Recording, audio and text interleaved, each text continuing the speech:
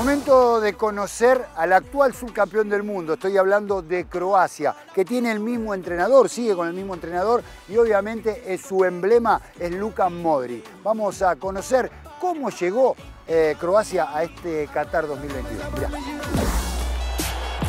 En esta edición de la previa de la Copa Mundial de la FIFA Qatar 22, un equipo cuyos seguidores llegarán en masa al país vecino, Qatar, es Arabia Saudita. Pero primero, veremos a los finalistas de la Copa Mundial de la FIFA 2018, Croacia.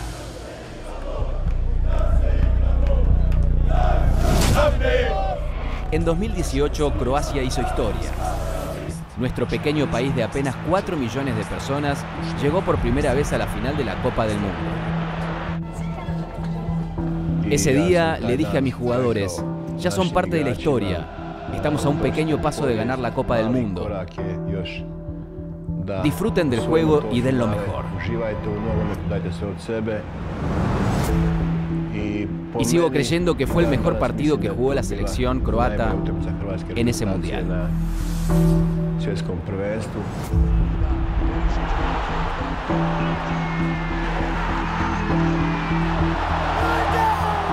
Fuimos especialmente buenos en el primer tiempo. Quizá la suerte que tuvimos hasta entonces nos abandonó. No ganamos.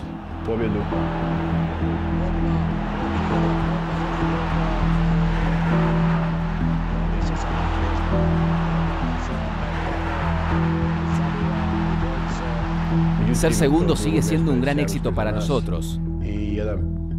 Es una parte de nuestras vidas que nunca vamos a olvidar. Logramos el mejor resultado en la historia de Croacia.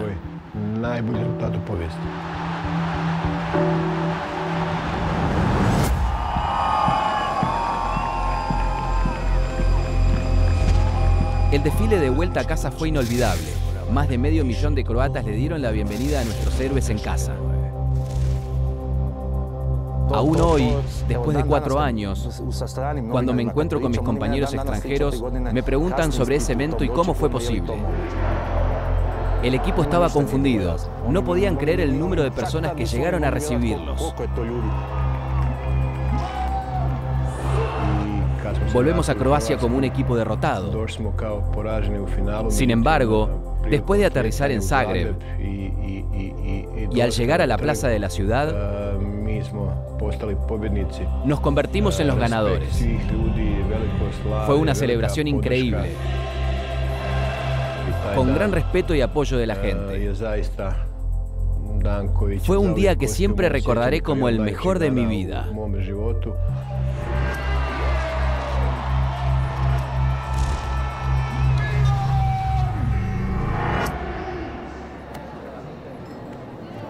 Después de que los festejos terminaron, surgió la pregunta, ¿cómo seguimos esto? Por suerte, tenemos al Dinamo.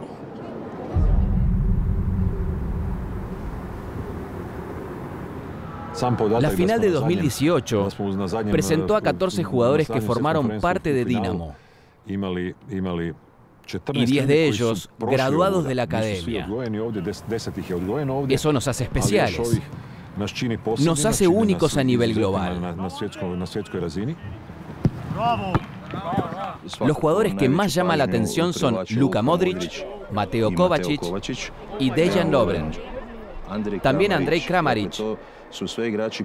Son todos jugadores que pasaron alguna vez por la escuela del Dinamo.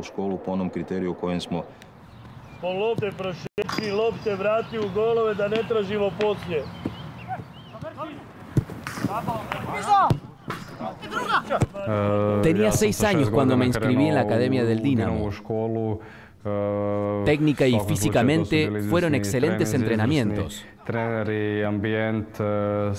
Grandes entrenadores en un ambiente positivo. Crearon las condiciones perfectas para el desarrollo técnico y físico de los jugadores jóvenes. Dinamo me dio mucho y estaré siempre agradecido. Tienen una escuela de fútbol extraordinaria. Produjo excelentes jugadores en los últimos 10 o 15 años. Soy Filip Brekalo. Tengo 19 años y juego de lateral izquierdo. Actualmente estoy en el equipo B, pero próximamente me gustaría jugar en la selección nacional. Mi nombre es Mislav Sadro. Tengo 19 años y juego de arquero. Todos en Dinamo tienen un solo objetivo, llegar a jugar en el equipo de primera lo antes posible. El personas en Croacia son realizadores de milagros. No tenemos las instalaciones necesarias y somos un país chico tal vez incluso pobre en comparación con países más grandes. Nuestros entrenadores realmente realizan milagros, trabajando en condiciones difíciles. Sacamos cosas de la nada. Eso es un gran éxito. Mis ídolos graduados de la academia son los que jugaron en mi posición, como Tomislav Butina y Drazen Ladic, posiblemente los dos mejores arqueros graduados de la academia. En cuanto a los jugadores de afuera, es fácil. Elijo a Luka Modric,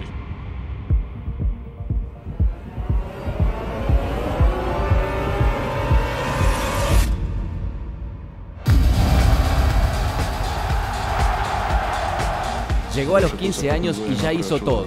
Ganó el balón de oro y fue finalista del Mundial.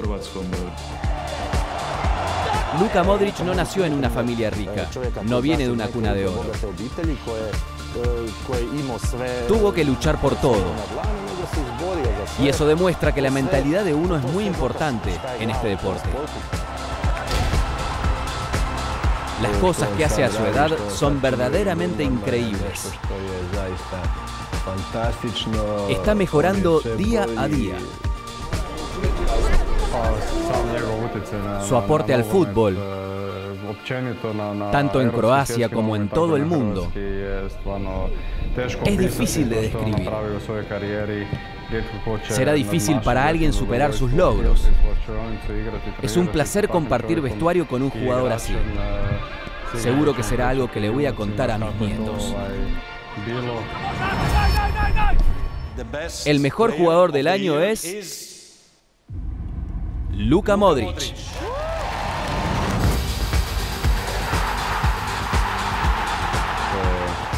Es genial ver que aún con 37 años sigue viviendo para el fútbol y da lo mejor.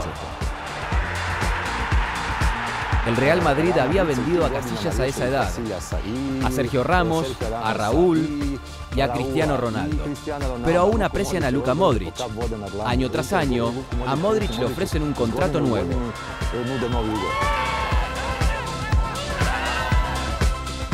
Te aconsejo que nunca descartes a Luka. En 2018 también dijo que había sido su último mundial y la última Champions League.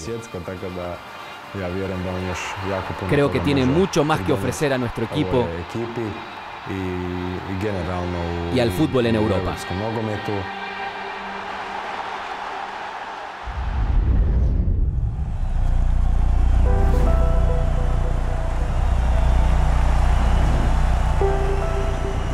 Tuvimos una campaña difícil de clasificación al Mundial.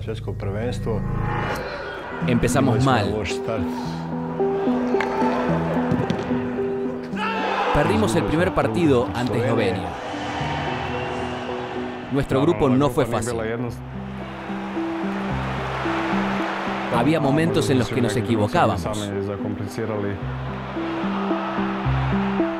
Después del campeonato europeo nos reiniciamos y mejoramos muchas cosas.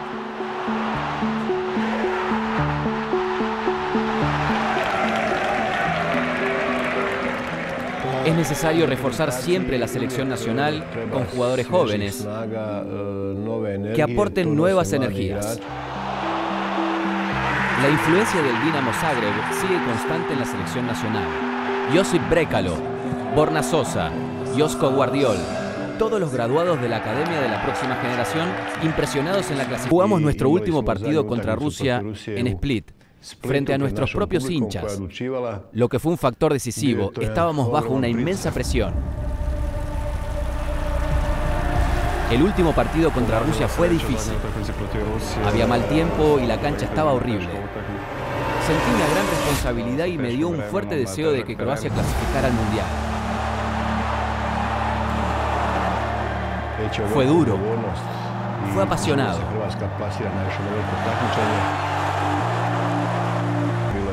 Pero yo era optimista. Tenía fe en mi equipo. Haber sido difíciles.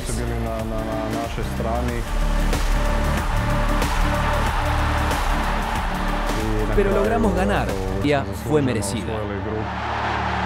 Ganamos el partido y clasificamos para la...